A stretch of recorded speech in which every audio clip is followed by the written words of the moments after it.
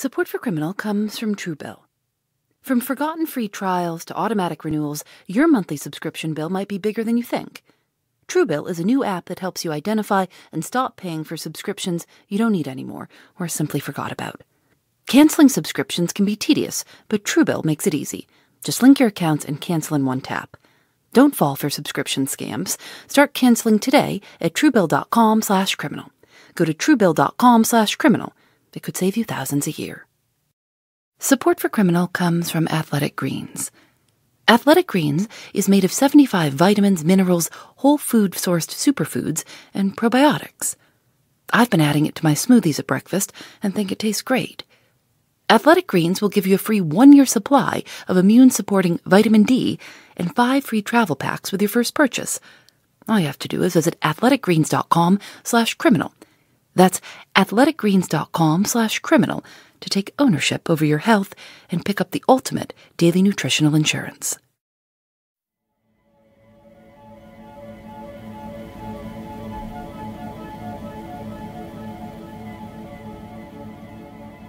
What about those that that have been trained to lie? You know that that this is this is they know how to do this. They know how to lie in an interrogation is that possible? Are we able to to train people to lie? Oh, people lie all the time. I don't know if you have to be trained. I think people learn as they grow up. There's all kinds of lies people can tell, right? You can tell lies about the past, the future, yourself, other people. You can lie for fun. You can lie to not be punished.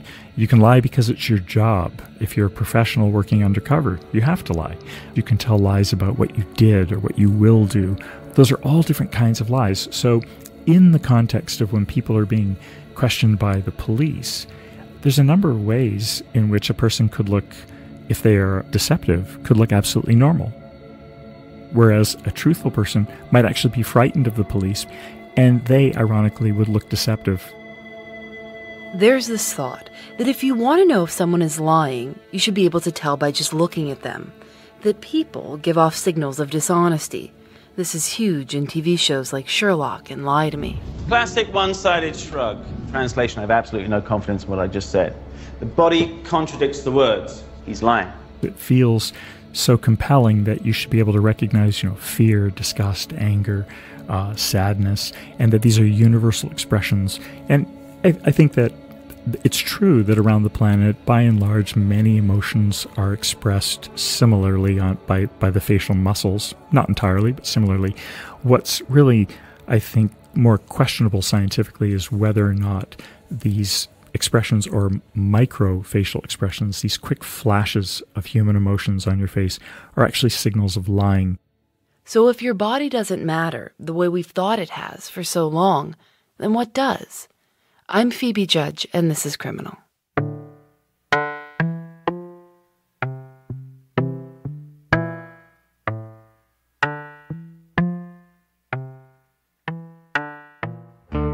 For 20 years, Andy Morgan has been studying human memory and deception. He's worked with the FBI, CIA, the military, law enforcement groups. And it goes without saying that all those people Morgan worked with, they really like to know when someone's lying to them. They will do some crazy, expensive, exhaustive things to find out if someone's lying to them. But what we're learning now is that a lot of those things they've been trying, they just don't work.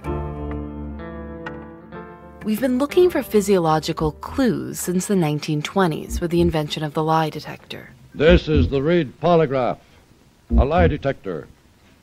In the past 20 years, an estimated 200,000 persons have staked their futures many of them their lives on this machine. The polygraph, as you know, is a device that records how fast you're breathing, sort of your respiration rate, and how much your chest is moving. They put tubes around your chest. And the general belief uh, in law enforcement and w- within the polygraph community for years has been rooted in the idea that we call the fear and alarm hypothesis. That variations in blood pressure and pulse rate are present during and after the act of lying. That telling a lie is threatening in some way, and that threat to you will trigger a difference, a shift. The conscious act of lying creates an emotional disturbance. And, and cause your blood pressure to rise, or your skin conductance to go up, or your respiration rate to change, like holding your breath, or maybe breathing more rapidly. Now, it may not shock you that the polygraph isn't a perfect tool, but we were actually surprised to learn just how inaccurate the machine is. We actually know the polygraph, in the way it is mainly used, is not better than chance. Uh, at detecting deception, maybe slightly at 52, 52%, 53%. You could literally flip a coin and be just as accurate as the polygraph at detecting a lie. But the idea that your body gives you away is still very much alive. It's still being used in police departments all over the country. Cops are trained to read body language. Some investigators claim they can watch an interrogation with the sound off and know if someone's lying. But what Andy Morgan says is that when put to the test, people aren't any better at sensing a lie than chance. And if that's true, that we can't see a lie, that we can't hear a lie or smell a lie, or physically sense in any way when someone's playing us, then what do we do?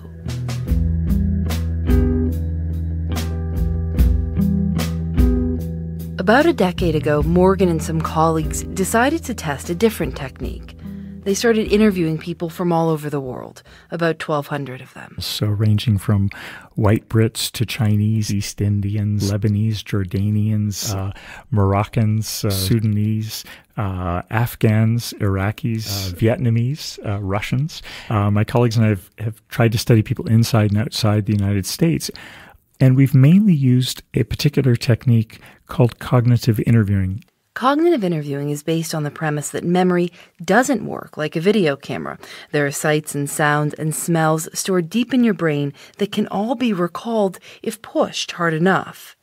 So every time Morgan sat down to interview an American or Jordanian, some of them would be lying and others would be telling the truth. And he would ask them to do something pretty simple to tell us a story about what they've been doing. The most memorable concert that I have been to. It's not the best, it's the most memorable. So obviously, this isn't actually tape from Morgan's research. We just put some of our friends to the test. Was Yeasayer about a year ago. I went to a Foo Fighters concert in 2005 for the In Your Honor tour. And then say, so if you imagine for a minute that I was there with you, what would I have seen if I'd been there with you the entire time? They had the lights programmed with the music, and so the mirrors really like reflected the light and so there was like it would form shapes. Then we say when they're done. So i think i'm getting a better picture in my head. So imagine for a moment i was with you but this time i was blind and i could only listen. What would i have heard during that time? So it's more of a shuffling of like rubber against pavement there. Go down metal steps go down to uh, the car our car doors open. You know depending on the context you might say what would i have smelled? There was this this girl that was standing next to me who was in a sweater dress who did not wear deodorant. And then we say, starting with the very last thing that happened, um, what do you remember happening right before that? Uh, leave dorm. Right before that. Go walk backwards to car. Right before that. Get in car. Come back to dorm. Kind of having them just walk us backwards through their memory. Crunching guitars and awesome drum stuff. What's been found over the years in many studies of cognitive interviewing is that using those mnemonic prompts, those those sensory prompts, what you would have seen, heard, smelled, thought, touched, or tasted, they trigger more memory recall. You get more detail. The picture becomes much more rich and complex without suggesting anything specific to the person you're interviewing. But here's where things get interesting. Turns out, if you're telling a lie, a made up story, even one that's well rehearsed, you can't complete this interview, not without giving yourself away. If you tell a very simple lie, there's not much work to do. you go, I don't know, and you have nothing to say. Kids do that all the time. but if you're telling a if you're telling a story that's reasonably complicated and it's supposed to be believable, because if I'm lying to you, my goal is to sell you the story I'm telling you and then to leave before you figure out it's not true. Or not to bring up anything that might lead you to suspect that it's not true. I'm trying to tell my story and stick to it. Uh, we find that liars are often worried that if they're inconsistent, they will be thought to be lying. So, what they do is they tell you a story. So, if I say, Tell me everything that happened, they might tell me quite a wonderful story. I went to see Florence and the Machine. It was like in the spring. But then when I say, So let's go back to the beginning. So imagine I was with you. What would I have seen? You know, heard, thought, smelled, touched, tasted, or walked through it backwards. The overall result is they have very little to say. Do you remember the car ride home? Uh, not really. They will say things like, well, pretty much just like I told you before, and they will repeat uh, very closely the same thing they've already told me, so that I'm not learning anything new over time. The thing is, I don't even really remember. It's sort of like comparing a digital photograph of your house with the tree in the front yard and a child's picture of it, where there's a house and there's a tree and there's clouds and there's birds, but there's not a lot of detail. And what we tend to do when people tell us lies is I think we fill in the, we fill in the blanks. And that, Morgan says, is where the problem lies. We fill in the blanks because, of course, we want to believe people. So Andy Morgan's challenge was to find a way to take these interviews and analyze them without filling in the blanks. To do this, he had to put a little distance between himself and the interesting person telling the story.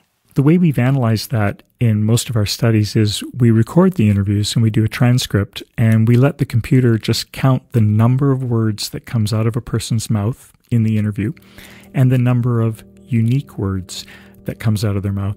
That uh, so if you think about the phrase oh, "one small step for man," That's one small step for man, one giant leap for mankind. one giant leap for mankind. There are ten words, but you've used one and for twice, so there's only eight unique words. As you're thinking harder about monitoring what you're saying, it has the side effect of reducing the richness of what you have to say and shortens the thing that you have to say. All the computer is doing is counting those two variables. And when we sort people based on those two variables, response length and unique word count, the computer's right, typically 80 to 85% of the time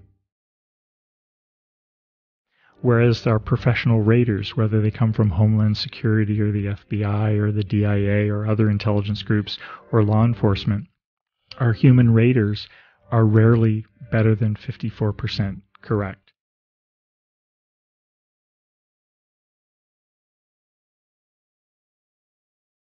It's kind of a crazy idea that someone with a transcript and a tally sheet could tell us whether or not what we're remembering is accurate, while someone with decades of FBI interrogation training could be flying blind. And this idea could have all sorts of huge implications. Think about a jury. A jury is just a bunch of people trying to figure out who to believe. But people, according to Andy Morgan, are terrible at figuring out who to believe. Isn't it possible that a juror with a transcript of the trial who's never laid eyes on the accused might actually do a better job at figuring out who's lying, who to trust? For Andy Morgan's part, he's glad our bodies aren't the end all be all. It's reassuring to know that although there's so many books on nonverbal behavior and people say 90% of communication is nonverbal, based on the science, I think that the best way to sort out the truth is to listen to what people have to say. And to know that maybe our fate won't hang on sweaty palms or a pounding heart, that our words really do matter.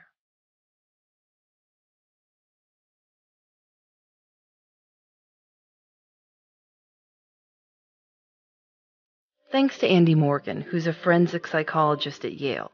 And just in case you were curious, during his interview with us, he used more than 7,200 words, and enough unique words to make us trust he wasn't lying. The show is produced by Lauren Spohr, Eric Mennel, and me. I'm Phoebe Judge, and this is Criminal.